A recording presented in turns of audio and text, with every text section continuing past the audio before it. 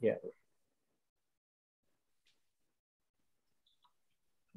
Hi, everyone. Thanks for participating in the Spatial Omics Seminar Series 6. Today, we are very excited to have Dr. Michael Gerner from uh, University of Washington. And briefly, Dr. Gerner graduated with a bachelor's degree in biochemistry from the University of Wisconsin-Madison. He went on to receive his PhD in immunology in 2009 from the University of Minnesota Twin Cities.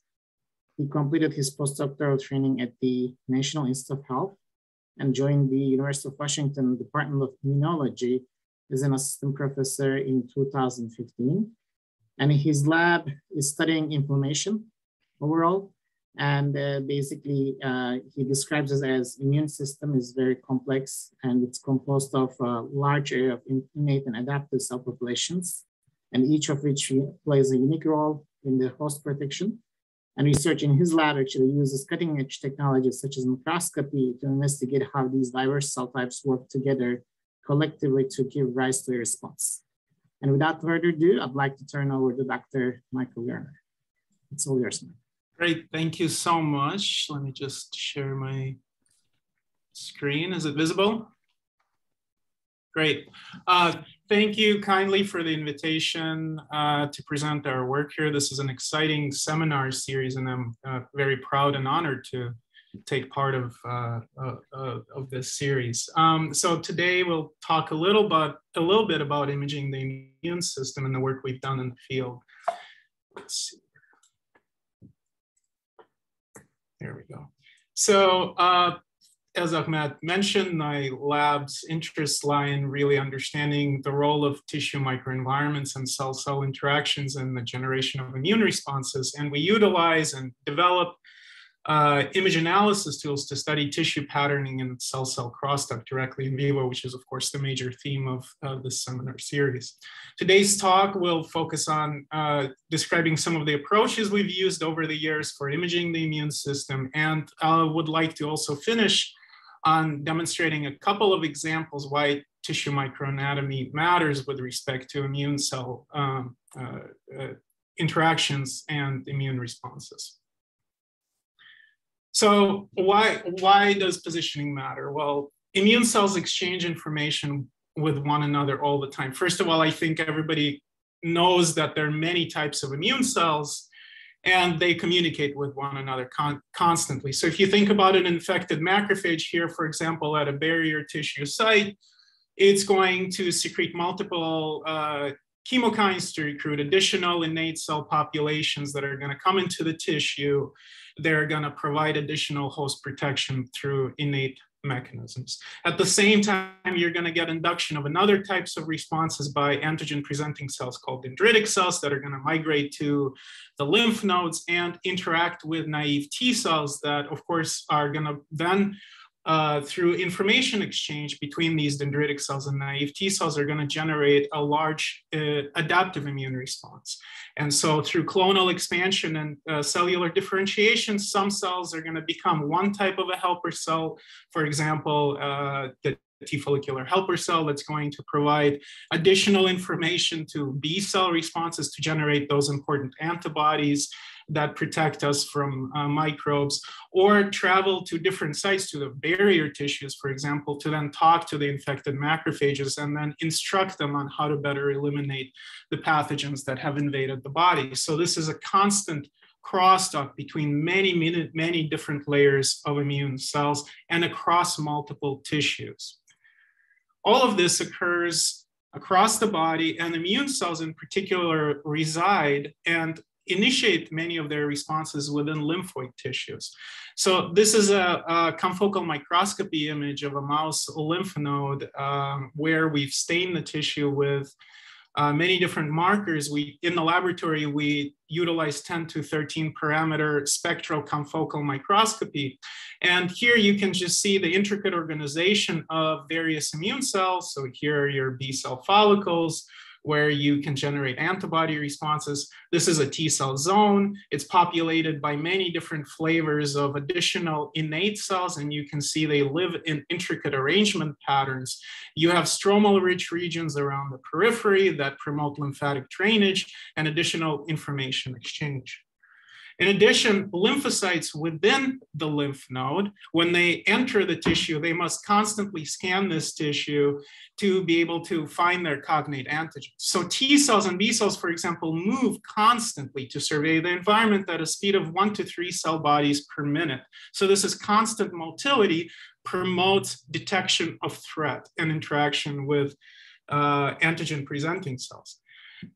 Different migratory behavior patterns are seen for innate cells, and you can see structural organization of medullary macrophages and subcapsular macrophages here, as well as dendritic cells. So this is intravital two photon microscopy again. And you can see different scanning behavior and motility patterns for these types of immune cells where they're sampling the lymph, and this allows them to efficiently uh, survey that uh, lymph fluid for potential breached uh, pathogens. And when they sense these pathogens, they can capture the information and then process it into a different language that T cells, for example, can understand. And so, and this induces the crosstalk between the, uh, the dendritic cell and the T cell. So here you can see a cluster of uh, activated CD4 T cells, and they're talking to this one dendritic cell. So this is the information exchange happening within the tissue uh, between the innate and adaptive immune system.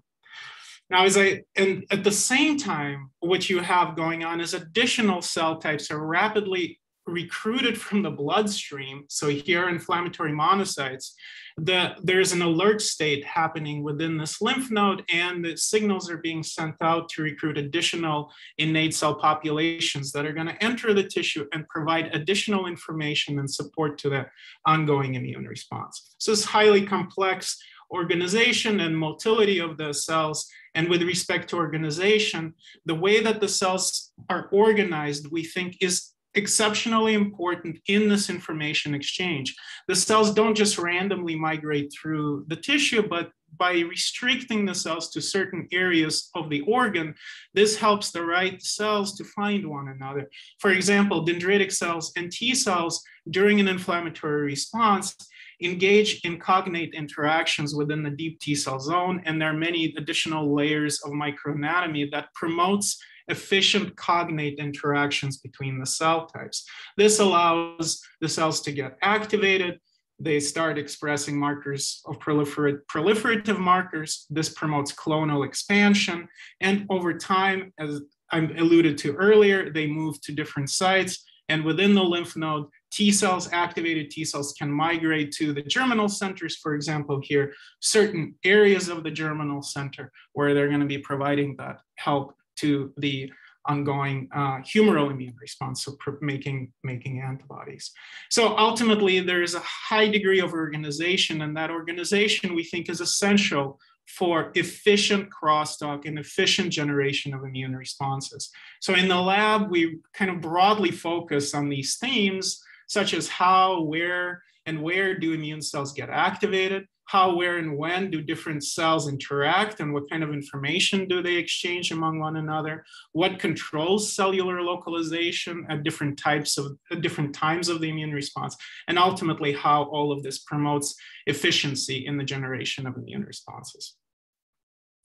So to be able to study these processes, oh, I've uh, worked on uh, multi-parameter confocal imaging and image analysis, and uh, my journey in this field really goes back to my postdoctoral studies almost more than a decade. And we started this work now ago uh, with uh, Ron Germain's group at the National Institutes of Health. And uh, we, uh, as a postdoc at the time, I developed a technique called uh, uh, called histocytometry. We were dealing with six to eight parameter confocal microscopy, high resolution imaging data. And we try to increase the the multiplexing by several by including several additional fluorophores and then I developed a, a couple additional improvements to the technique where we can uh, uh, it, remove fluorescence spillover from spectrally adjacent fluorophores to be able to increase our multiplexing. We were also also able to start sort of manually um, classifying pixels to identify specific cell types of interest, for example. So currently we have machine learning to, for tools to detect cell types, but um, at the time we could use Boolean gating to say we would like to visualize population X, Y, or Z. And then to be able to extract these kind of data into the digital domain, which has again now become a fairly common technique, but we were able to generate cellular objects around every single cell within the image tissue. And so here's a, a picture of a dendritic cell with some dendrites, and there are many of these cells within this tissue, and then be able to extract quantitative information then uh, to be able to identify cell populations and ultimately have a quantitative depiction of the, of the tissue. Now, at the time, we were just fascinated by the fact that we could take an image right? So this was quite a while ago now, and we could take that image and transform that into a plot, what we the histocytometry plot, where we can discriminate different cell types, and that looks very similar to our conventional flow cytometry data. But of course, we have the X, Y, and Z positioning of the data sets within this uh, tissue and we can gate on regions and be able to quantitatively study composition based and, and localization based on imaging uh, uh, data sets. This is a more recent example of some of our approaches where we essentially utilizing that 13 plex and we can, uh, using additional uh, uh, approaches, we can push that spectrum resolution to higher plexing uh, as well, but uh, it allows us to do more complicated gating schemes on different myeloid cell types. And you can already just visually see the complexity of this tissue. But we can now study this uh, in a more quantitative defined space so we can reconstruct uh, uh, tissues, general tissue structure and then identify each of those populations and uh, as to where they're located within these lymphoid organs. Um, and uh, uh, what we find is, as kind of can be obviously seen by naked eye, is that the different flavors of immune cells, and I'm not going to go into the detail of what these different immune cells are, but they all reside within different spatial microenvironments within this tissue.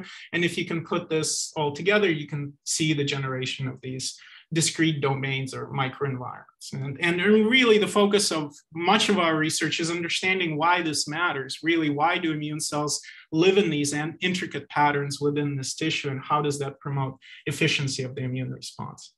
Now, um, in addition to what I just mentioned, a lot of that work is really was really focused on two-dimensional imaging of thin sections and we expanded that by using high resolution tiling to large tissue sections. But also the, there are some obvious limitations to section-based microscopy. There is a bias. There is problematic it's problematic for detection of rare events. There is orientation dependence for non-uniform tissues. And if you have structures that are important to your biology that lie just outside of the imaging or the sectioning plane, obviously that becomes an issue. So to circumvent this, uh, we turn to another uh, fastly moving field, which was uh, tissue clearing. And there have been many uh, um, approaches now published uh, for tissue clearing. I think there are over 30 different methods that are uh, being used actively in the community. Um, at the time, we found that many of the, uh, most of the published methods generated subpar image quality uh, and also did not allow us to be able to efficiently stain the tissues with the various uh, uh antibody probes that we were uh, relying on to be able to detect the cell populations. So together with a, a talented uh, research scientist at the National Institutes of Health, uh, Weizhi Li, we developed a tissue clearing technique uh, called uh, Clearing Enhanced uh, 3D or C3D. And uh, uh, this has been uh, since then commercialized by BioLegend. Um, and what you can see here is uh, the, uh, the effectiveness of uh, C3D in taking uh, optically opaque tissues and making them uh, uh, reasonably transparent. So you can actually see the, the markings behind the tissue. So they're, they're very clear. Um, and importantly, this technique at the time gave us the ability to get really high, nice high resolution, nice quality images of antibody stained tissues. So here's that lymph node that I was, uh, we were looking at earlier now in three dimensions. And what you're looking at are vascular trees here, uh, so you can see the complexity of the architecture of, of that. These are B cell follicles and uh, you know T cell zone areas, medullary rich regions, and we're getting really high quality imaging data sets. And really for a pathologist, if you're in the pathology space, so information like this can be really informative for non-uniform tissues, for example, tumors. This would be very interesting to see the how different microenvironments are generated. Now, this is at the moment non-quantitative, so we were wondering, can we turn this into a, a, quantitative space where we can categorize every single cell within the tissue?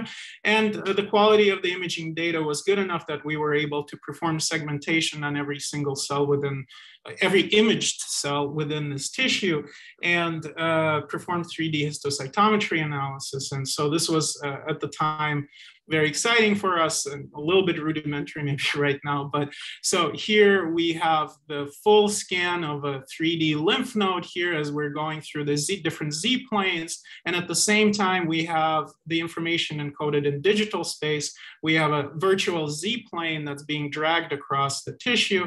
And as you're doing that different, you, we're looking at different population of cells that we imaged. And you can see that they're dynamically changing. And if you take all of these populations and plot them on an X by Y plot, you can see a recapitulation of the original imaging data. So this is a full 3D quantitative reconstruction of this organ.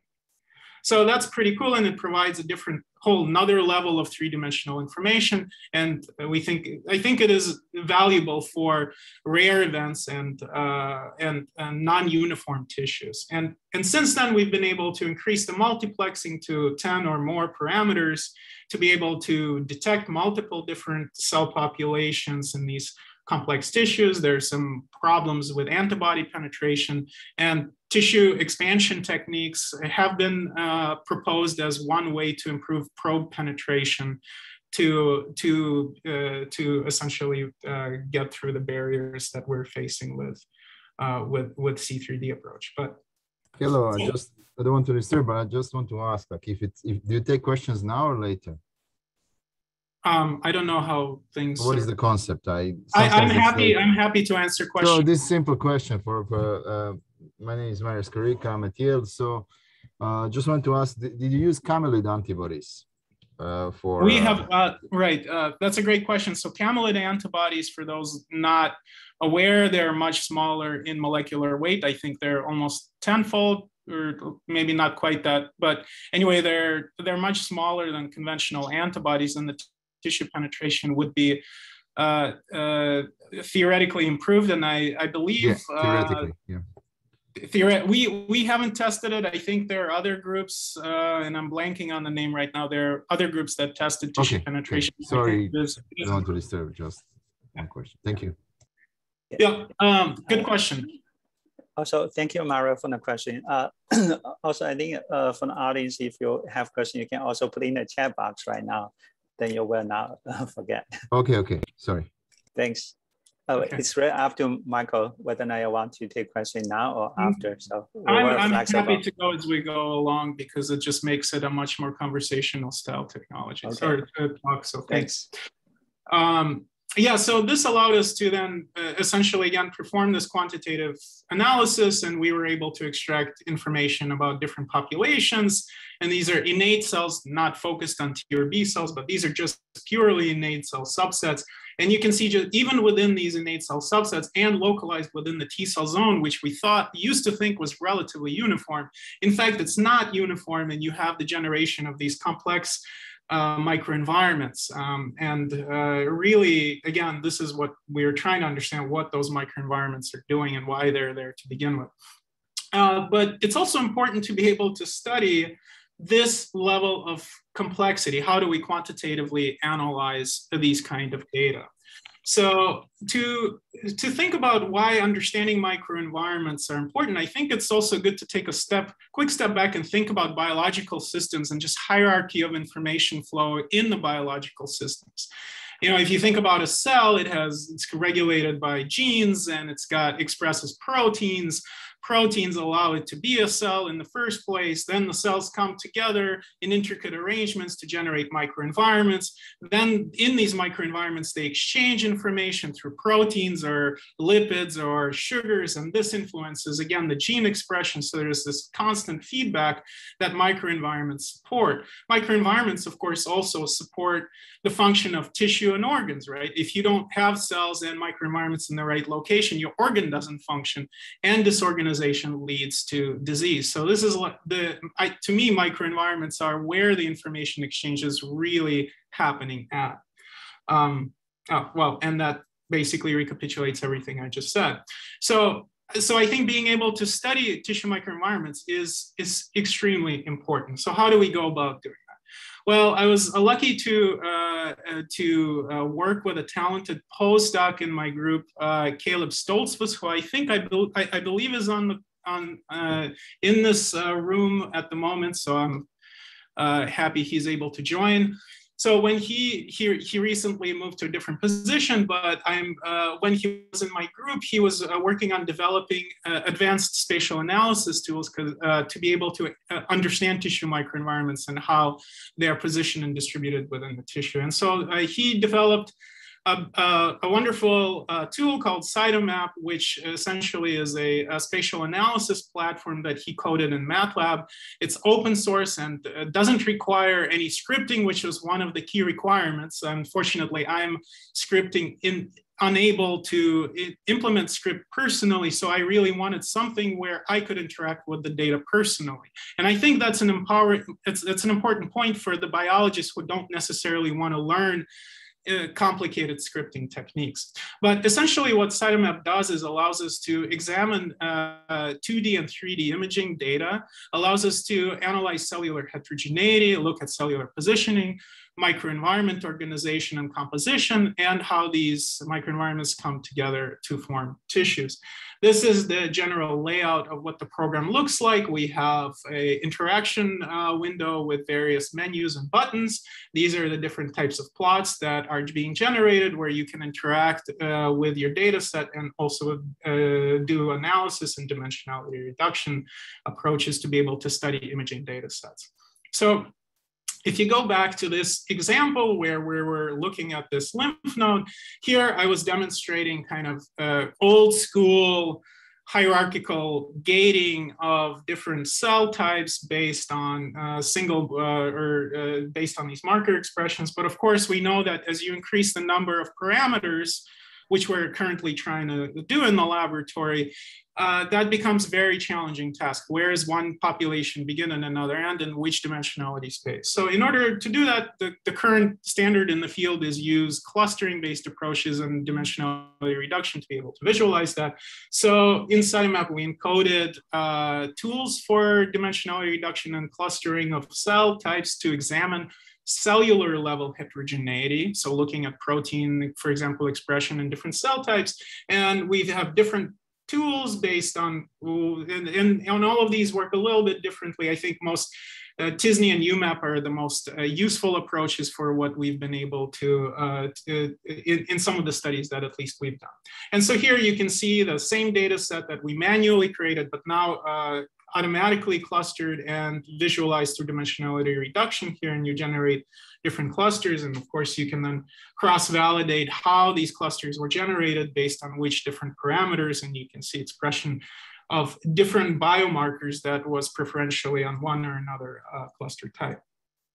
Um, but so then you get your uh, get your populations, how do you study their organization?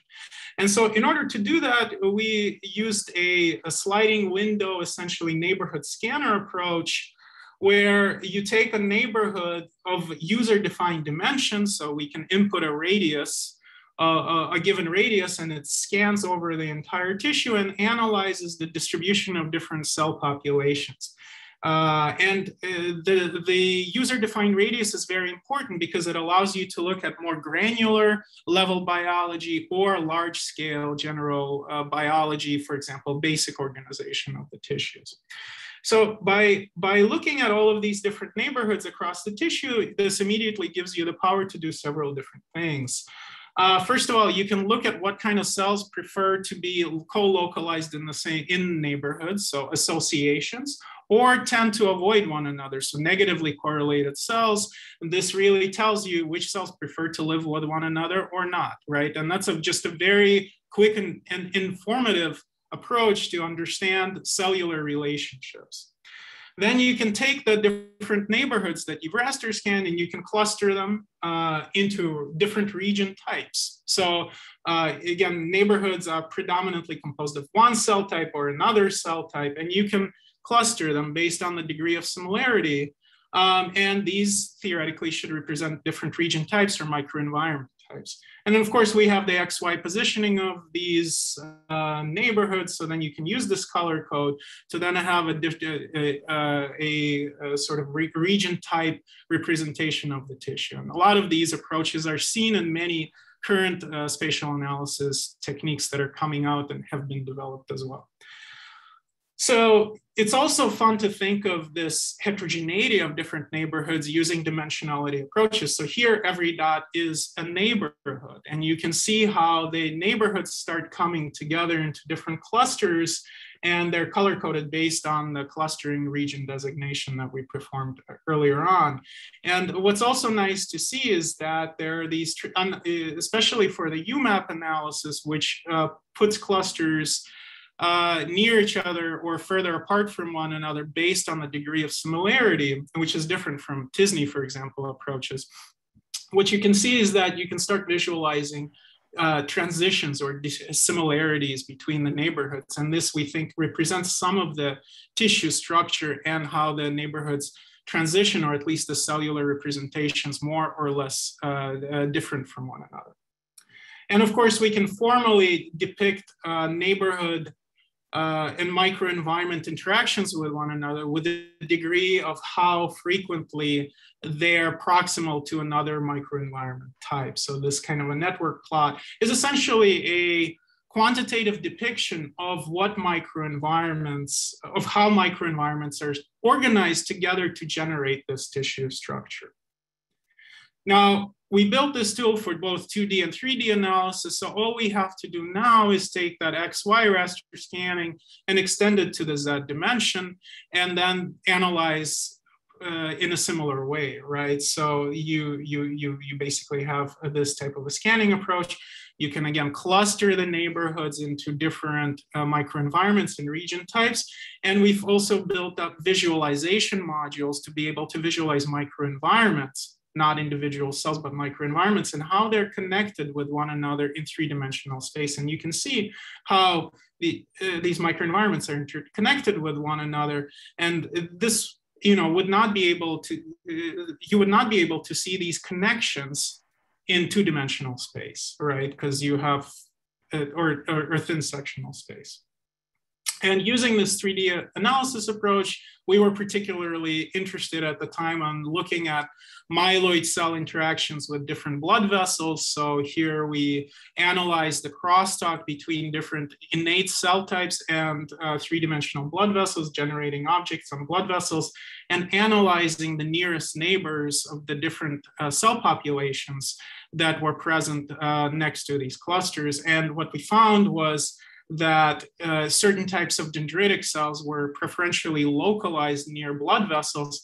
And interestingly, they were localized in different types of blood vessels. So that you can see uh, they, they, they segregated from one another. So they were not equally mixed along the blood vessels, but they generated distinct vascular associations. And we were able to then plot these in three-dimensional space and, and visualize these preferential vascular innate cell networks that we were uh, studying. And so this raises a lot of questions about why that is, how does that impact the heterogeneity of both the innate immune system, but also the vascular space. There is a lot of heterogeneity in the blood endothelium, and whether that's dictated by the local uh, cellular types that are present.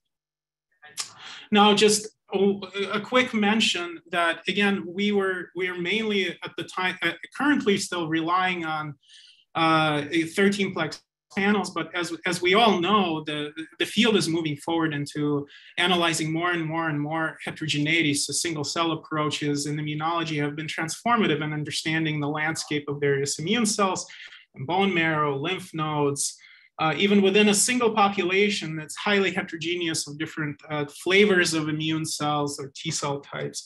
And so really we are now trying to push our technologies further to increase the multiplexing, we're, as I, as I said, we predominantly use spectral imaging with detection of all of these different colors. Uh, there's potential to increase that fluorescence space using fluorescence lifetime imaging, but it's not, it, it, it, it, takes a, decent amount of effort.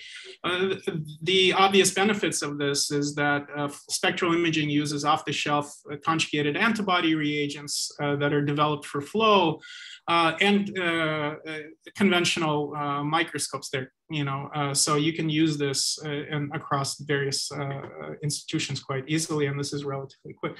Now, there are many, many strategies that are, you know, people are trying to increase the antibody-based multiplexing. I'm not even going into the depths of uh, spatial uh, transcriptomics work that's obviously has been uh, revolutionary and developed by many people here. Um, what uh, we are currently focused on is utilizing iterative staining technologies um, to increase, to basically piggyback off of our existing expertise in spectral imaging, but essentially uh, utilize multiple rounds of uh, spectral spectral reprobing to then each with each round you know increasing and increasing our depth of our microscopy. So in particular we've tested a few of these various approaches here. Uh, um, a recent technique developed by ron germain's group my former postdoc mentor called ibex uh, iterative bleaching extends my multiplexity uh, multiplexity developed by Andrea Radke and his group, uh, utilizes repeated chemical bleach cycles with lithium borohydrate. And just as a sort of, uh, in our hands, we've seen very excellent results with uh, generation of very high quality imaging data with this approach using our conventional workflow that we've already previously established. So uh, this is our current uh, work in progress ultimately, this is where we would like to be now. In the near future is to utilize uh, this high plex protein imaging with antibodies, fluorescence microscopy to be able to use uh, tools like Cytomap to be able to understand cell-cell interaction networks and combine this with single cell RNA sequencing data that we have started flooding our servers and we are trying to dissect the heterogeneity of all the various immune cells. Hopefully we can use these data to inform the types of biomarkers to stain the cells for. But also there are several interesting algorithms that have been developed to analyze cell-cell interactions through receptor ligand analysis. And so you can actually predict what signals the cells are transmitting to one another. And my goal is to utilize this combination approach to then be able to understand what potential interaction pathways are taking place within the tissue. And then we have to couple this with powerful um, uh, functional perturbation studies to be able to understand if any of this stuff matters for the immune response. So we have to still rely on genetic knockouts uh, and tracking of the immune response and immunization or infection systems or tumor studies to be able to see if, if what we predict by computational approaches matters, which is, you know, so it's, it's, a, it's a long work in progress. So I would like to now just show you three vignettes, and I'll try to keep it relatively brief, about why we think immune uh, microenvironments matter for the generation of, of responses. So as I, as I talked a little bit about, there's a great degree of diversity in the innate immune system. These are some innate dendritic cell subtypes that have been identified in the mouse, and there are many similar subtypes that have been found in, in humans. And dendritic cells are sentinel cells that are there to detect the uh, microenvironment, sample the microenvironment, and sample infections and understand tissue cues or during cancer, and take that information. And if there's a threat or danger that's being sensed, translate into the information uh, to T cells and to instruct the generation of different flavors of uh, T helper cells or cytotoxic T lymphocytes or T follicular helper cells that promote humoral immunity. So there's a complexity of heterogeneity in the innate system that translates to the heterogeneity of the uh, of the adaptive immune system. So we are we're really focused on understanding uh, this crosstalk in, in, in, the heterogeneity between the two systems. And so uh, what we were, what we, when we started this project and trying to understand immune microenvironments of innate cells, we decided to use a simple reductionist approach of, of visualizing lymphoid tissue and innate cells within lymphoid tissues after administration of different type of inflammatory agonists. So adjuvants either used in the clinic or, uh, or isolated uh, bioactive agonists uh, that induce innate immune responses. Um, and, and, and we ask the question, how do the innate microenvironments change in tissues over time? And how does that impact the generation of adaptive immune responses? So here we're looking at a, a naive lymph node it's relatively small. And one particular thing you can notice is that these green dendritic cells that are very important for induction of T cell activation are localized in the periphery of the tissue. And we think that's important for sampling uh, of information that's being draining via the lymph. Uh, type 2 adjuvants did not modify this uh, specific cell type distribution patterns um, there are other features that we're now pursuing that are quite interesting, but uh, uh, that's a separate story. But type 1 adjuvants, uh, we found induces a very rapid reorganization of the immune cells uh, within the tissue. And you can see the green cells now, instead of being very peripheral, and now are found within the deep T cell zone.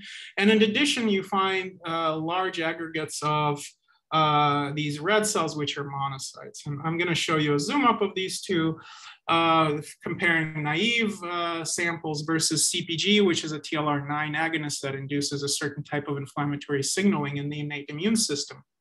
And again, you see repositioning of the dendritic cells and influx of these red cells, which are monocytes into the tissue. Now, um, the same kind of biology was seen not only after agonist administration uh, and immunization, but also after infection with specific uh, viruses such as West Nile virus here. And you can see again repositioning of the green cells into the deep core of this uh, tissue and influx, rapid influx of monocytes here.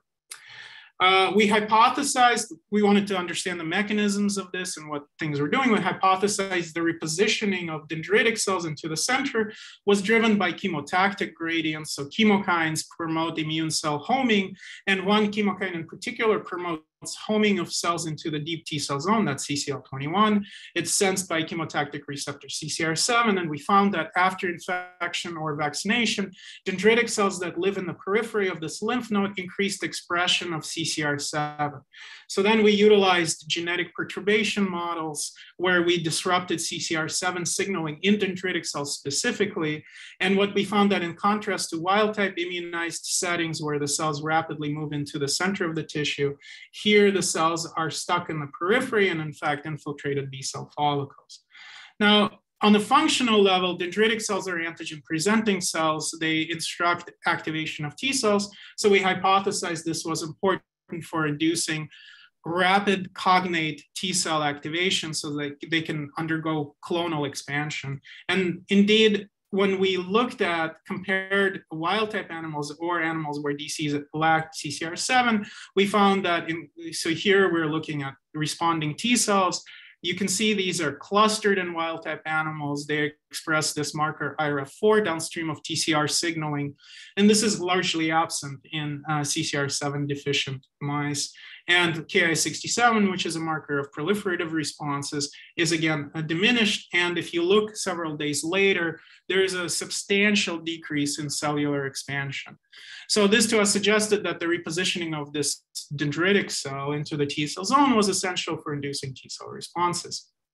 Now, the other component of the, the signature of type 1 inflammation, as we found, we discussed, described that in these inflamed uh, lymph nodes was the appearance of monocytes within the tissue, these red cells. And uh, we hypothesized that they were expressing uh, bioactive uh, cytokine called IL-12, and IL-12 is essential for inducing strong differentiation of T cells into either Th1 cells and CD8 T cells to be functional effector cells. So indeed, we found that a lot of monocytes express IL-12 uh, in addition to dendritic cells, which is typically thought to be the major source of that.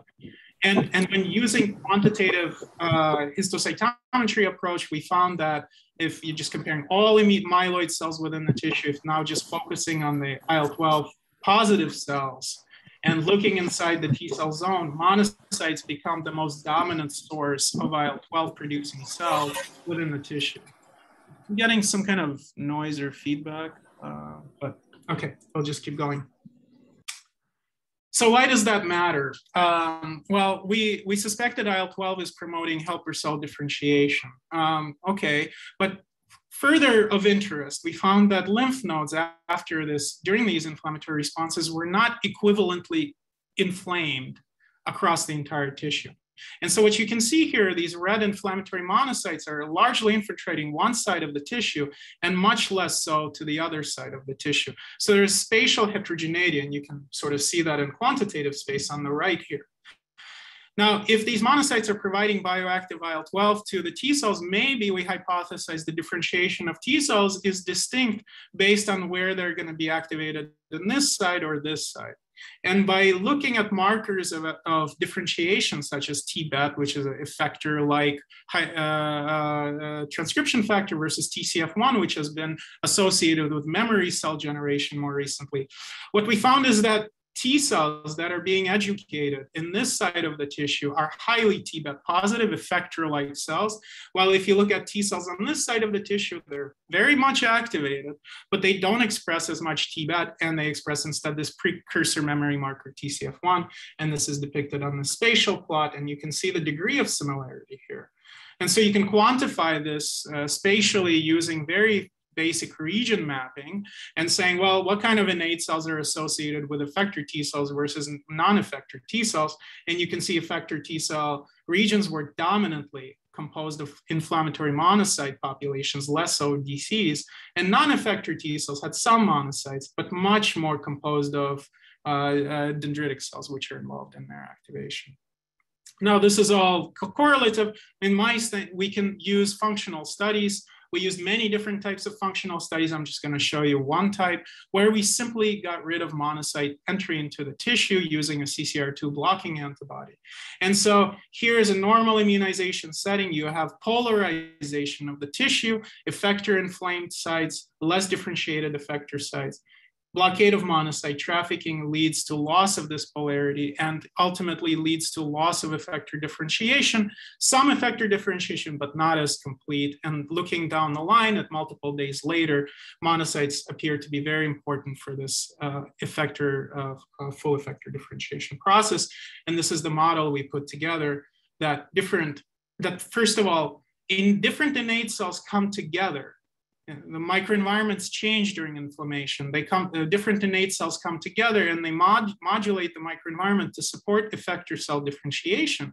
And the other component is that heterogeneity of microenvironments allows different priming of T cells. And this leads to the heterogeneity, at least in part, to, to the heterogeneity of the adaptive immune response that we've, as a community, have been observing for quite a while.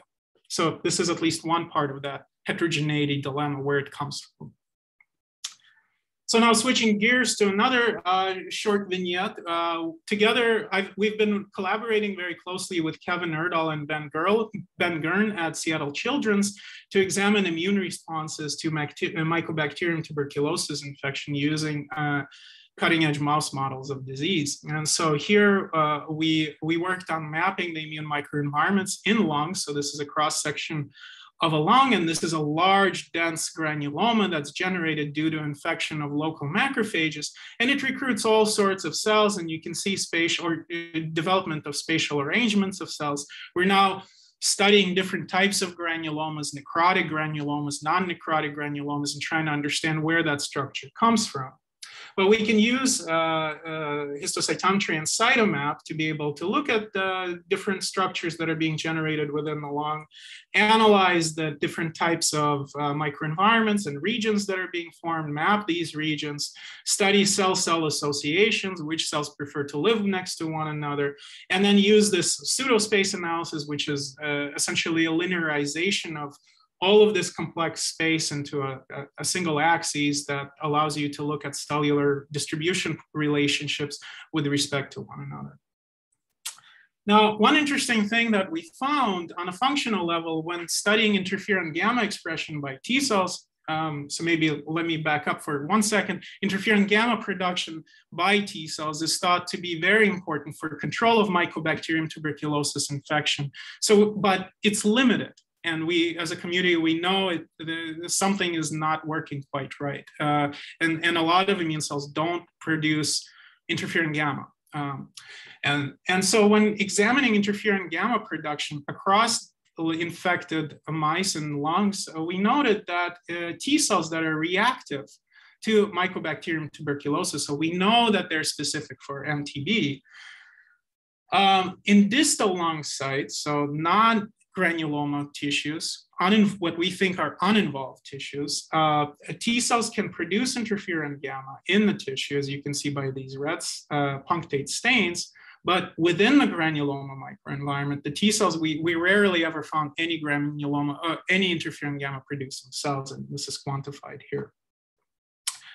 So to be able to understand what may be causing rapid suppression of interferon gamma, we hypothesized there might be some sort of immunosuppressive molecule.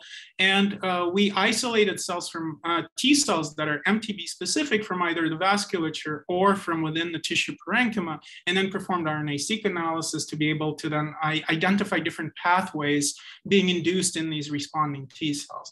And we identified multiple things in here, uh, many to do with effector cell, differentiation, interestingly, hypoxia within the lung, which is quite interesting of its own right.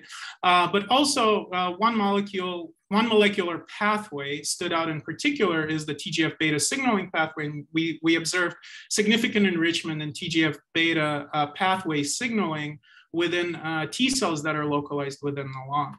Now, we then used imaging approaches to probe this further and utilized markers downstream of the TGF beta pathway, which is phosphor phosphorylated SMAD3 protein. And we found that granulomas, which is this whole entire thing, were just lit up with ongoing phosphosmad3 indicative TGF beta signaling. And you can see TGF beta signaling in the nucleus of both T cells as well as myeloid cells. There's a lot of TGF beta induced induction within the granulomas, but much, much less so in the peripheral distal lung. So this is a T cells within the distal space. You can't see really much TGF beta at all here. And we confirmed with help of Jake Estes at the uh, OHSU, we confirmed that similar patterns uh, also exist in non-human primate granulomas of, of, of TGF beta signaling. So naturally, this made us ask the question, well, is this the molecule? So now chasing the functional relevance of this predicted cell crosstalk, we have to engineer mice where T cells, but not other cells, are not able to signal via TGF beta receptor. So these are specific, we generated specific TCR, uh, uh, T cell specific TGF beta receptor knockouts, uh, mouse lines and examine their granulomas. And in contrast to wild type animals, now the granulomas, they, first of all, they still form. So TGF beta is not the only thing that matters. But within these granulomas and TGF beta receptor uh, T cell deficient mice, there's a lot more interferon gamma producing T cells. And in fact, we were uh, uh, pleasantly surprised that the infectious burden was significantly reduced. This is a log scale, but you know it's modest. But in the field of TB control, this is actually relatively decent control of tuberculosis. So the TB is one of these pathogens that's just hard to get rid of. And uh, to understand this, uh, how this is happening, we adoptively transferred naive T cells that are either wild type or TGF beta receptor knockouts into animals that are infected and then looked at their proliferation properties, apoptosis, and interferon gamma capacity. And we found that in all settings, wild type cells in gray here were be, uh, they proliferated, expanded, but rapidly lost ability to continue to proliferate and expand in number. So there was a drop in number. More of the cells were apoptotic, and uh, they rapidly lost ability to produce interferon gamma, while the knockout cells continued to maintain some ability to make interferon gamma. And this is naive cells, but we were able to even transfer fully differentiated effector Th1 cells that made a lot of interferon gamma transfer these cells into infected animals, harvest the lungs one day later, and the T cells rapidly go to the lung and to the granuloma. And we found that the wild type cells were uh, much more suppressed in the ability of, to produce gamma as compared to the knockout cells and, and ability to continue proliferation. So TGF beta, in, in as a summary, is a very, very dominant and rapid, inhib rapid inhibitor of T cell responses, specifically within the lung granuloma. So this is a very suppressive immune microenvironment that limits bacterial control by the immune system. And so finally, another small vignette, uh, and then I'll finish on that, is regarding uh, immune microenvironments in cancer. This is collaborative work that we did with Mario Pero and Roche Innovation Center in Zurich. Um, so this is a stylized picture of a, a colorectal carcinoma grown subcutaneously in mice. But here we were trying to understand patterns of immune cell localization in either untreated animals, uh, so this is MC38 uh, uh, uh, cancer model, or uh, treated with various types of immune uh, checkpoint blockade therapies or immune therapies or combination therapies. And so there are different varieties of responses that are being seen, and we wanted to understand what correlates with immune with a response outcome based on uh, uh, immune cell localization. So using uh, uh cytomap we, and, and imaging, we visualized multiple distinct tumor microenvironments or region types and we fundamentally saw segregation of T cell rich microenvironments, these red orange regions, and uh, tumor uh, associated regions uh, here in, in green and blue that had much fewer T cells. And you can see this represented on the right plots, both the XY positional space. So untreated animals had a lot of tumor regions and a lot fewer these infiltrated T cell rich regions uh, com combination treated animals in particular gave a robust response. And you can see that part of the tumor becomes to be highly inflamed, but not all of it. So there are residual tumor nests that appear to stay put. And so this is uh, what we thought was indicative of an ongoing immune control. And of course, you can also visualize these microenvironments uh, and the changes in, in the different treatments using um, uh, dimensionality reduction. And so one thing, so, so here you can appreciate that across multiple animals, we can detect increase in certain microenvironment types. And so here by red and orange, these start to appear with effective therapy that correlates to decrease in tumor volume.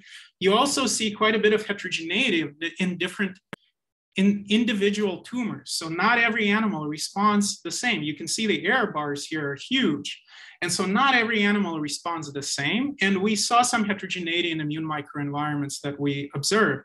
And so then we started to wonder whether immune microenvironments can correlate to the abundance of how well the tumor regression occurred. So this was the plot, and we analyzed actually two different mouse models here, both MC38 uh, colorectal and KPC pancreatic carcinoma. And we see that except for those one outlier, which had an abnormal growth uh, in the way that the tumor established itself, but all the other animals, we found that the specific representation of, of, of tumor microenvironments that the, the T cell rich to the, the non-infiltrated was highly correlated with this uh, uh, uh, decrease in tumor burden after immune therapy. So, why, although within the individual groups there was a lot of heterogeneity. So, this really tells you that I think that uh, this quantitative imaging can help us better understand what are the important drivers of immune control of tumor growth. Um, and so we were just wondering uh, what is leading to these microenvironments. And so looking closely at our images, we noted, noted that a lot of the, the myeloid cells that we found in particular DC, uh, certain types of dendritic cells and T cells aggregated around these structures, which are blood vessels. And uh, these were found both in the periphery of the tumor, but also within the tumor. So these were our hotspots of immune infiltration into the tumor, and these were associated with high degree of T cells, dendritic cells, and blood vessels. And we can map these relationships using simple distance plots. Certain types of dendritic cells are very close to blood vessels. Non-activated macrophages uh, sit further apart from blood vessels. And we also examine CD8 T cell distribution based on uh, TCF1 versus positive versus negative progenitor status. So this is an important point in the cancer field. TCF1 positive cells are thought to be progenitor-like resource cells that generate robust immune responses to checkpoint blockade therapy. And so you can see these TCF1 positive cells sit very close to blood vessels and much more distally from cancer cells. Effector cells have a heterogeneous distribution, but can, in, can get further away from blood vessels and uh, closer to cancer cells. So this together proposes a spatial model of tumor microenvironments. So tumors are not obviously uniform, they have microenvironments. And, and what we described was the existence of this perivascular immune niche composed of specific types of dendritic cells and these progenitor resource like uh, TCF1 positive CD8 T cells, uh, and additional microenvironments that are further away from uh, the blood vessels, which are the tumor nest regions. And these are composed of the effector-like or exhausted T cells and uh, non-activated macrophages. And so what we found was that enrichment and expansion of these perivascular niches correlates with response to therapy, and that blood vessels, we think, are key organizers of immune cells in tumors and I, we think that this, the reason why blood vessels are so important is, well, uh, they provide a platform for uh, coordinated cell-cell crosstalk between innate and adaptive immune cells, which we know is important uh, for uh, cell function. It allows further uh, recruitment of cells from the bloodstream uh, during inflammation, so helps reinforce local feed-forward loops. Uh, we think that nutrients are important for providing uh, nutrient access, so glucose and, and, oxygen to cells, which we know is important for their metabolic function and ultimately uh, to how well uh, the cells can control uh, the developing progressing tumor. And so with that, I would like uh, to, to end. Sorry, I'm a couple minutes over. So first of all, uh, this is my group in the uh, brief, uh, brief two week period when we could remove masks and get together uh, outdoors this summer. Uh, this is Caleb Stoltzfus. He developed the Cytomap technology. I would also like to thank Joey, Jessica, and Karen for working on the monocyte dendritic cell story. Brandy, here, and Ramia, who's not pictured on here, uh, and Caleb worked on the tumor stuff uh, that I showed it towards the end, and Ben Gurn and uh, Kevin Erdahl worked on the, uh, together with them, we worked on the Mycobacterium tuberculosis infection models, and of course, my past work with Ron Germain and Weijie Li on the tissue clearing and histocytometry that I presented. Thank you. I'm happy to take any questions mm -hmm, for this fantastic talk. And uh, there are a couple of questions, but if you have any questions, please feel, feel free to unmute and, uh, and ask your questions directly. And maybe we can then read the uh, written questions. Um, Alex? Hi, Michael. Yeah, mm-hmm. great talk. I had a couple of questions for you. Um, first, uh, I, I, you know, you have these ranges of interaction, but earlier you also showed that interesting data about specific cell types migrating more. So it seems like, you know, you're well positioned to actually uh, define a range dependent on the cell type? Like you've got all the data to do that. So I, I was curious if you'd explore that.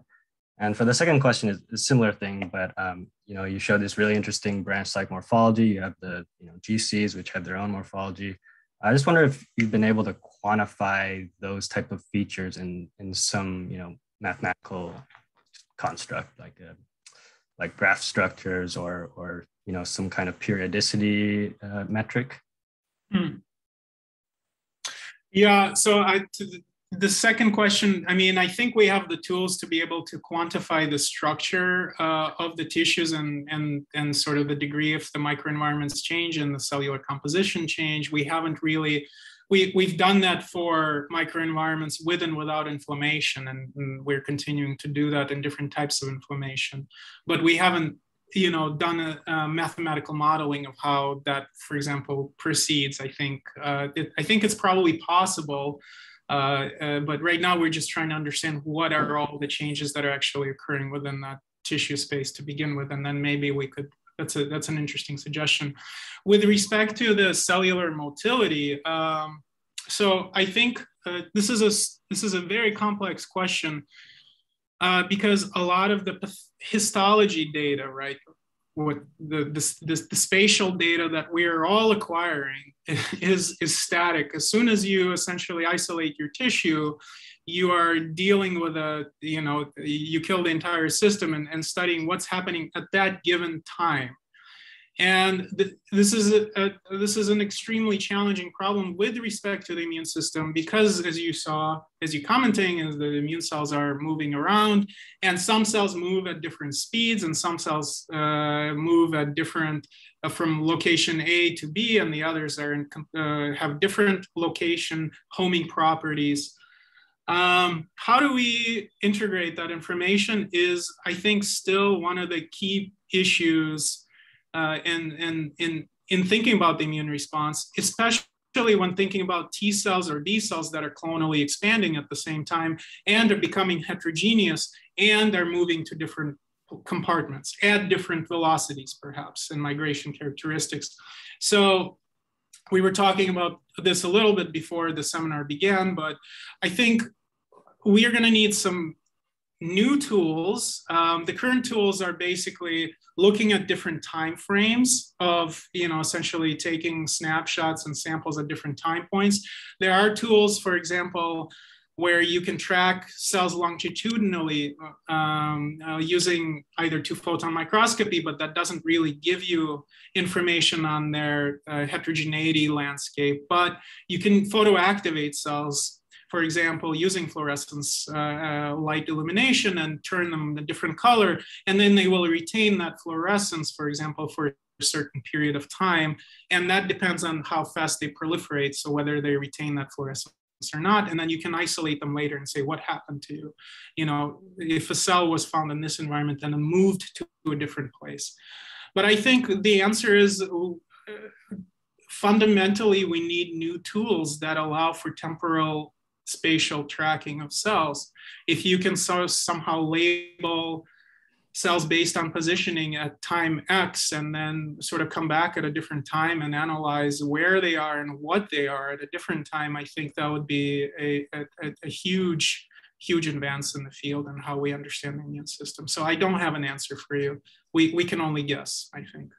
Yeah, I guess what, what I was suggesting maybe is that you actually have a great data set to uh, propose a more refined model of the interaction range of these cells, right? So you actually seem to have enough to at least generate a better static model. Um, like yeah, yeah, no, and we can define that. Yeah, you're absolutely right. We can define the cellular motility across a period of time, and we we can use instead of hyperlocal interact, we can look at hyperlocal signaling of cytokines, and that space has been somewhat defined. So if a cell secretes a cytokine, that can certain cytokines have a range of you know 50 to 80 microns. So that's been defined.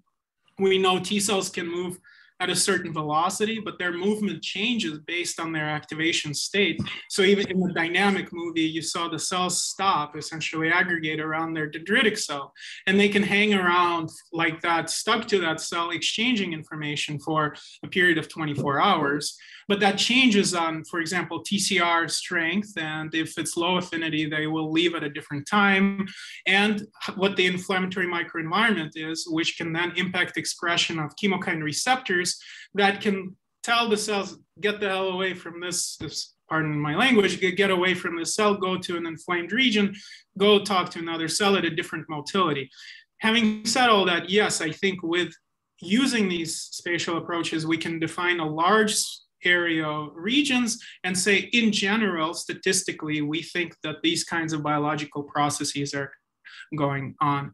Um, there are some interesting tools where cell-cell interactions can tag one another through exchange of proteins on the cell membrane. And then you can sort of say, if these two cells interacted, this cell now is in a completely different area, it walked away. This is the pattern, this, this is the radius of biological activity. So um, yeah. So if I may ask a question, uh, it's easy to define a normal lymph node. Uh, and I saw a pa paper in the, in the chat box about normal lymph nodes. But normal lymph node in a human is very difficult to define because all throughout our life, we are going to have variety of antigen responses. So is normal being defined uh, in the context of a mouse and when you take it out from a fetus or, or a nude mouse, for example? And so that's a kind of a philosophical question, but on a practical basis, we know that immunity decreases with age. Have you tried a very low hanging fruit of looking at kind of newborn mice versus uh, old ancient mice and to see what is the lymph node architecture in those, because that would provide some really good insights. Yeah, I think the philosophic, I mean, these are very important, not just philosophical, but practical immunology questions. What we study for the most part in the laboratory are SPF mice of a specific genetic strain background, which is most of the studies are done on B6 background, which is has a certain tuning of immune cells to begin with, right? And this is how they respond um, to inflammatory challenges. What's known in mice that are exposed to inflammatory normal with pet shop, from pet shop mice or or taken from the field is that their immune system is tuned differently and what that looks like we don't have a good understanding of we know the general rules of cellular organization in humans like the t cell zone and b cells everything seems relatively similar, but yet I sus- we have not gone systematically and analyzed the distribution of all these other cell types because frankly we're just beginning to understand the human immune system as so much focus has been in, in terms of the heterogeneity and, and the innate cell subsets because so much work has gone into the mouse. So i think these are kind of the, the exact questions that we will try to start moving towards, we hope to get access to human lymphoid tissues and start probing them with, with some of our uh, uh, biomarkers. And age-related questions, I think again, you're limited with a two-year lifespan of a mouse in SPF conditions, which again, if you generally look at a mouse at, at, at eight weeks of age, which is or six weeks when, when we receive them versus one year plus, the rules are roughly the same, but we haven't exhaustively studied that. I think everything does change with immune experience and uh, you know uh, in aged individuals the structure compartmentalization stromal cell biology all of this stuff may be different. So this is a big big and important area that needs a lot of work and but great presentation. Thank you. I got one question on that uh, sure. Uh, hey michael this is a fantastic talk. Um, you know, I'm super interested in the lymph node. We, uh, uh, we, I, I, work at NanoString, I lead R&D there. We just launched a, uh, a public domain data set on human lymph nodes. Uh, it's four, uh, four different human samples at the, at the whole transcriptome level.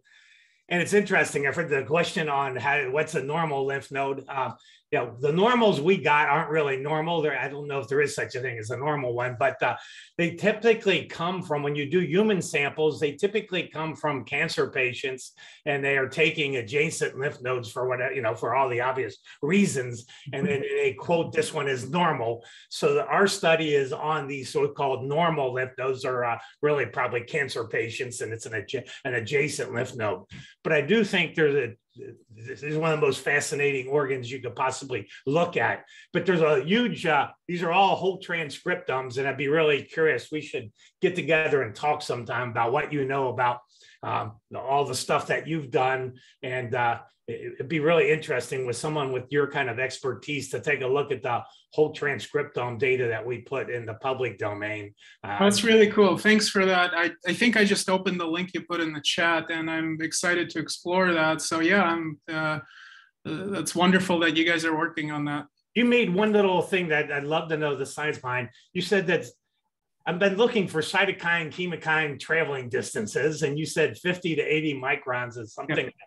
you think uh, is is there good data on that, or maybe uh, is a good paper? There are a total of three studies in mice.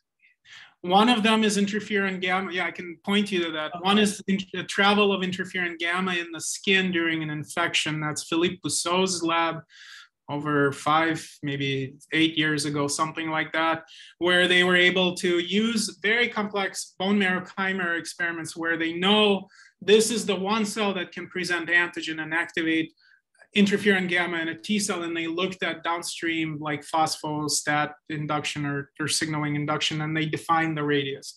And then the, the other two papers uh, were uh, from my former postdoc mentor, Ron Germain's group, looking at IL-2 signaling within lymph nodes and induction of T regulatory cell uh, activation through phospho-STAT 5.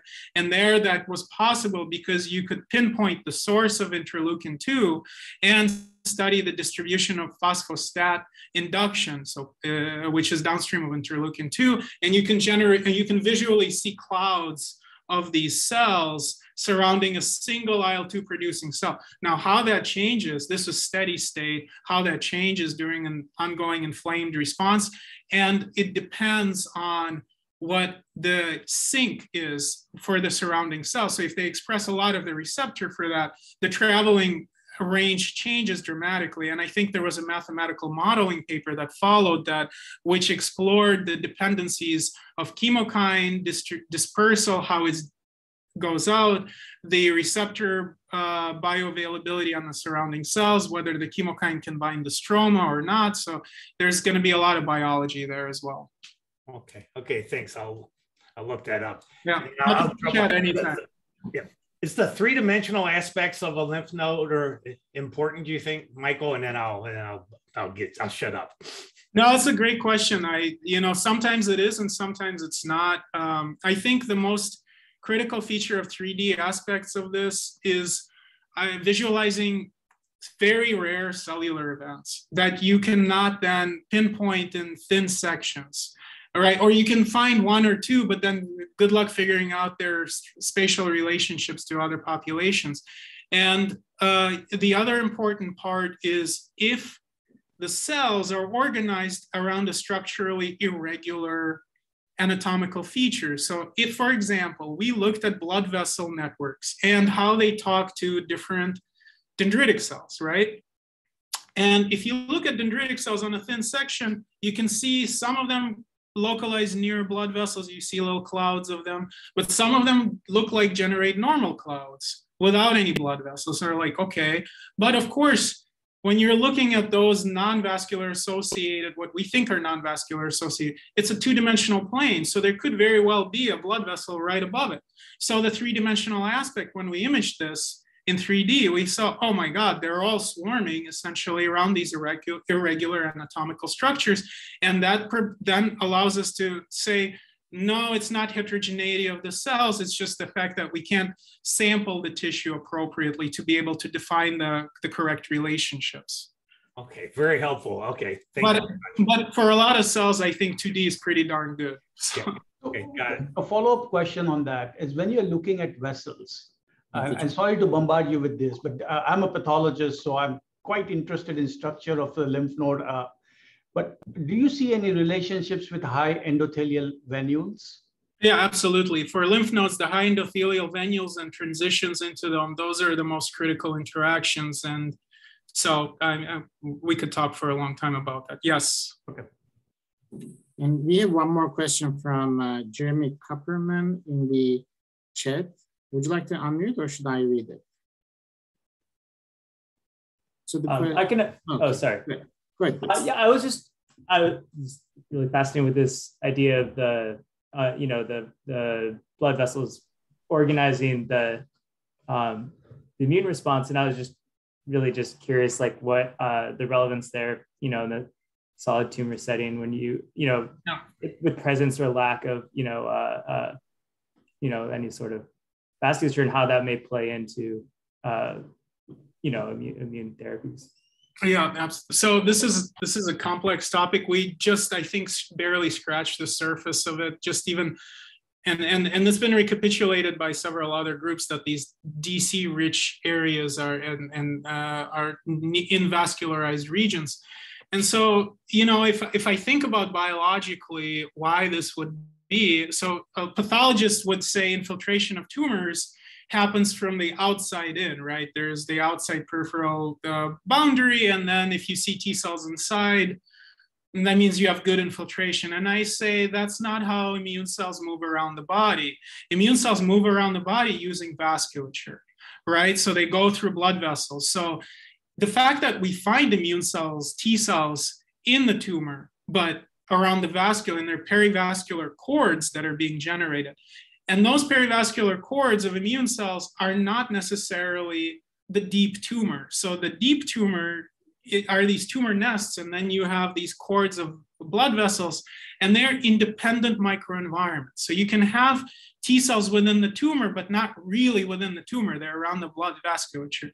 How could these perivascular microenvironments be promoting immune cell function? This is speculation, but we know dendritic cell T cell crosstalk in the tumor, especially in the context of checkpoint blockade therapy, is very important for reinvigorating local responses. So we know that early activation induces induction of inflammatory chemokines or cytokines that can induce activation of the blood vessels. This could promote further recruitment of cells through the vasculature to those activated hotspots, and then create a feed forward positive cascade loop, sort of traveling along the blood vessels and slowly eating into those tumor nest like regions, if you can sort of visualize it with me. The other concept of immune biology, this is, you know, we have a whole group of immunometabolomics people, right, that have categorized immune cell heterogeneity based on their metabolom metabolomic capacities and whether they uh, require glucose or they can survive in oxygen poor conditions or, uh, or acidified conditions. And this is true for both T cells and innate cells.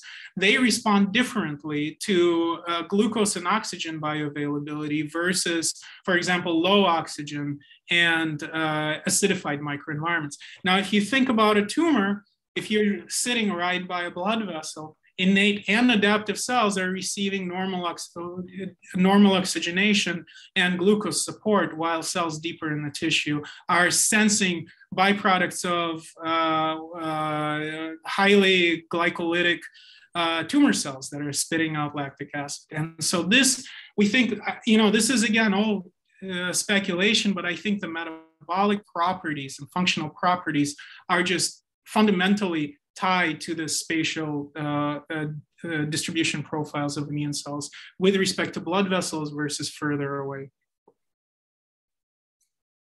Thank you. I think this is a great discussion. Um, and are there any other questions? I think we already learned a lot about the, uh, the lymphatic system and the immune system, and we, we can even chat more, right? a couple of hours about it. It's a daily event. But in the interest of time, I think let's thank to the speaker again. Thank you so much, uh, Michael, for this great talk. And I'm going to use this digital clap sign so thank you again. And this was really great. And uh, thank you so much, everybody. It's, it's wonderful to be here.